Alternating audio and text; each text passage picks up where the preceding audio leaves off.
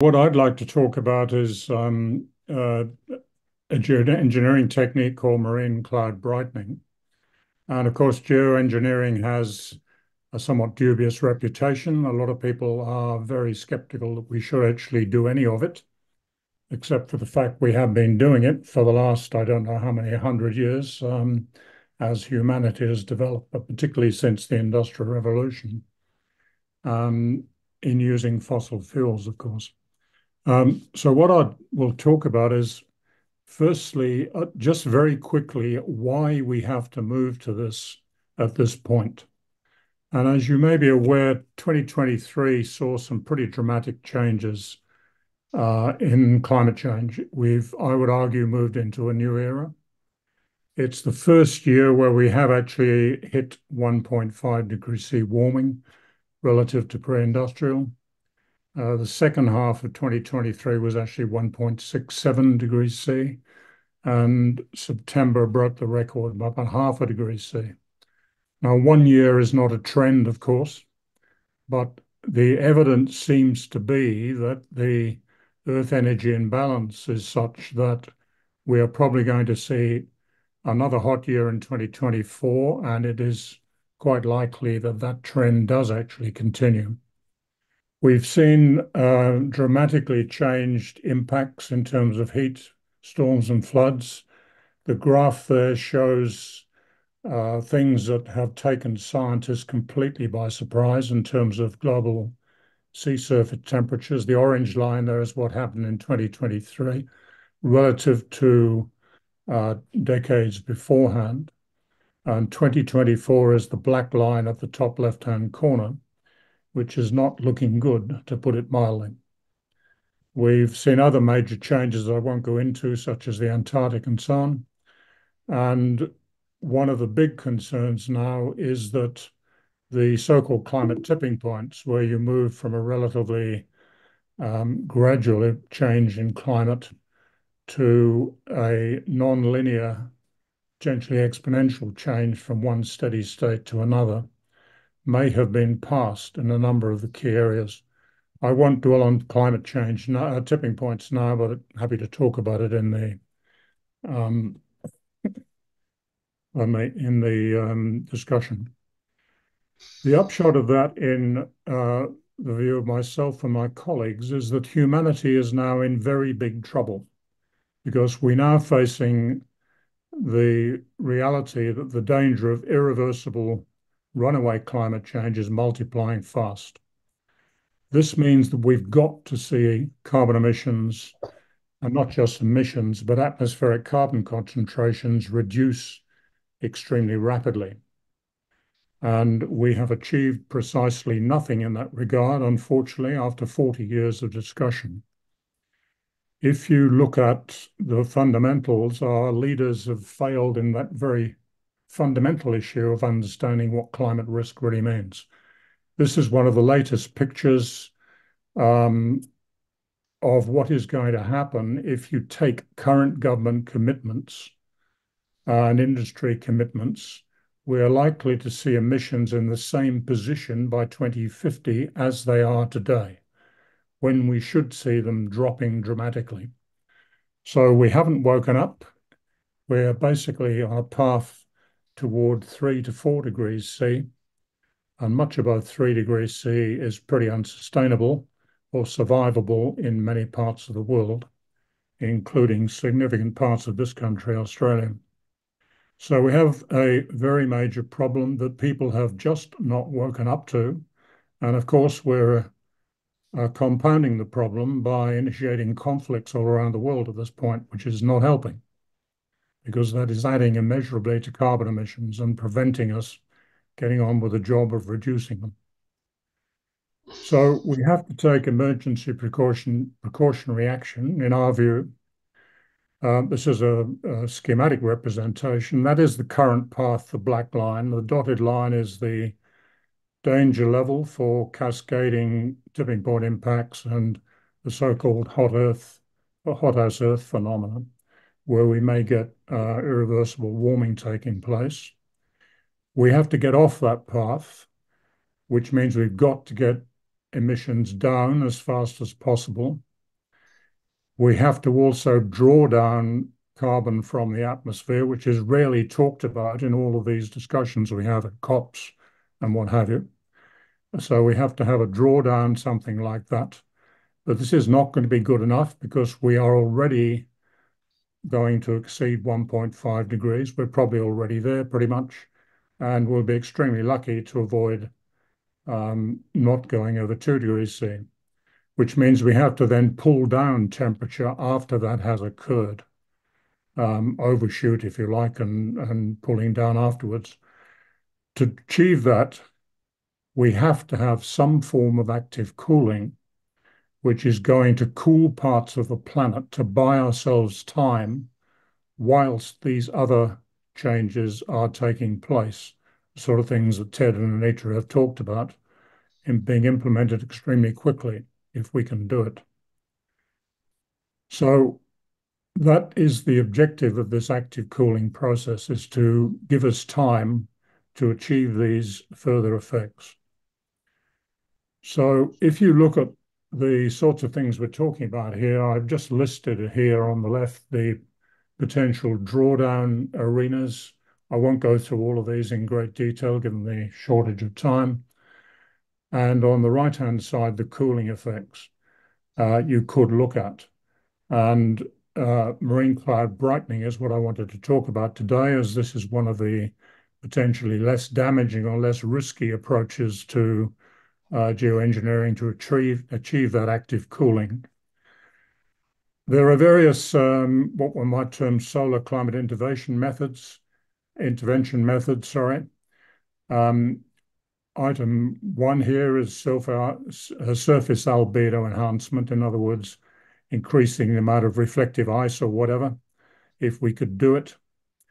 Um, the second one is increasing the reflectivity of marine clouds, which is marine cloud brightening.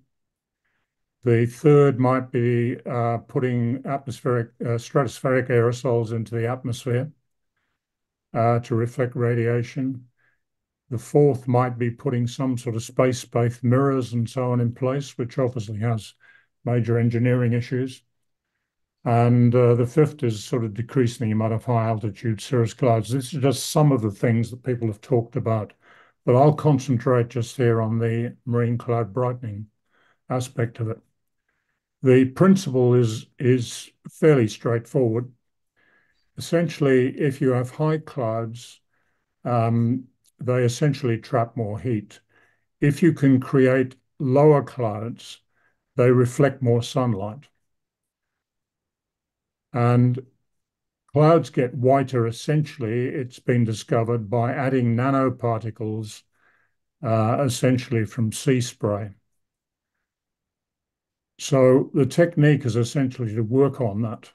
Now, it was noticed, uh, I think in back in the 70s, that um, cloud condensation nuclei were formed from ships' uh, chimney exhaust, created smaller cloud droplets and resulted in whiter clouds from shipping uh, traveling around the world at that point in time. It was proposed then in the 1990s by John Latham that if you use sea salt nanoparticles uh, to form that nuclei to reduce marine cloud droplets, you would then end up with having whiter clouds. And that's a fairly simple process that um, you see there. So if you look at marine cloud brightening in a nutshell, what it's doing is, is creating a sea spray of um, sea salt nanoparticles at the marine boundary layer um, below existing clouds, about one zero to about 1.5 kilometers. Those nanoparticles are uplifted into the clouds by natural turbulence. The nanoparticles act as a natural um, nuclear form formation, and uh, they reduce the cloud droplet size. So the smaller droplets, if you can create them, are essentially whiter, and whiter clouds reflect more sunlight, which gives you essentially greater albedo and hence the cooling effect uh, through the atmosphere. So the process of, of doing this is firstly Uh, from a laboratory point of view, to generate the right sort of aerosols um, in a nano sort of aerosol generation process to then try out single plume studies um, from ships and so on in a marine environment, and then lead into multiple plume studies uh, to prove up the process. The history of this so far is that this has been largely, uh, well, entirely laboratory and desktop studies, apart from work that has been done in Australia, where we have the Great Barrier Reef, which um, you may know has been uh, subject to uh, considerable problems because of very high sea surface temperatures in recent time, where we have major bleaching events, and there are now dangers that um, coral reefs generally, certainly in the tropical zones, are under threat of extinction because of the uh, temperature, sea temperature increase we're already seeing. So uh, groups at Southern Cross University have been trialing this technique in practice on a limited scale. It was first tried in 2021. The general indications are that it might perform better than the models predict. Uh, and um, it was demonstrated you could actually get the nanoparticles from the sea spray into the cloud formations. So why is it that we consider that um, marine cloud brightening is the best option? Well, I've just put up three options here, uh, geoengineering options that have been um, talked about. It's a space shield approach, stratospheric aerosol injection, and marine cloud brightening.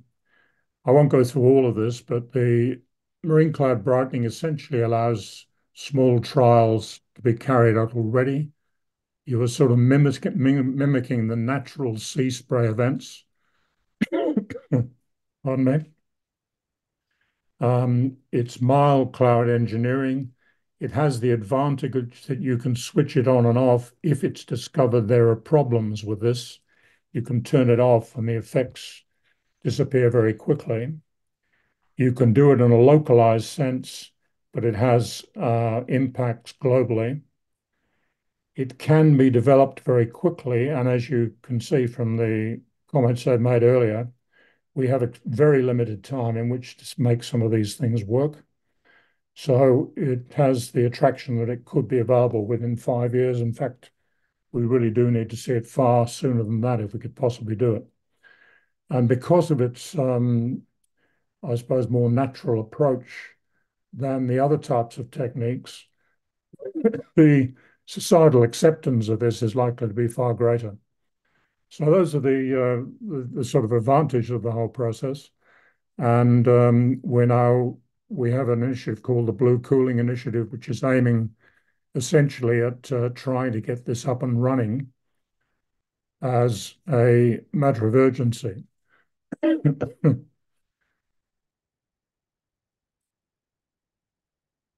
So the critical message in all of this and the actions we need to take is that we have got to get to zero emissions at emergency speed.